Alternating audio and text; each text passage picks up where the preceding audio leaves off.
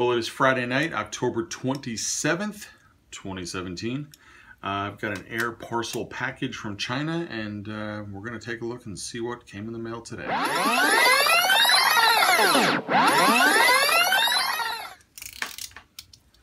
So I actually already know what this is because they, they tell you in the little description here, but um, it's always fun opening it as if you're surprised. So these are uh, three one-sixth scale um, faux leather brown belts that I got to go with my uh, Ranger slash Aragorn custom figure that I'm working on. This is him here. Um, I haven't really shown much of him, but I figure I'll take a, a, moment to do that, otherwise the video would be pretty much done right where we are. Um, out of the Aragorn figure, I used the head and the hands and that's pretty much it. I got a Marvel Legends body for articulation. For the uh, outfit, I went with the soft goods route so far. I did uh, wraps on his uh, lower legs, tied um, some thread around what would be the top of the boot. I used some what were gray um, custom pants that I painted, kind of dirtied them up a little bit. And then the the shirt is actually from a Mezco Spock figure that I had bought several of for customs. Uh, I cut the sleeves off it and uh, again dirtied it up, spray painted it to get rid of some of that blue. And um, I want to come up with some kind of leather jacket for him, uh, trench coat. And I also lightened his hair a little bit. Um, I'm like 50-50 uh, on whether or not he can actually be Aragorn or just be a ranger, period. I really don't care so much. Um, anyway, back to the point of the evening, the belts. So what I have for him is um, two swords. I modified the sheaths a little bit. I cut them to make them a little shorter. So when they're on his back, they won't. They were pretty long, maybe about a quarter inch or so. This one maybe um, three eighths of an inch.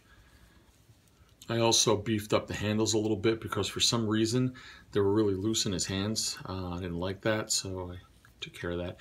The belts will go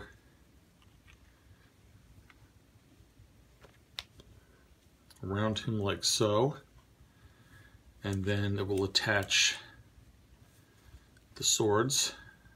Then he's got another belt to go around his midsection, a typical belt.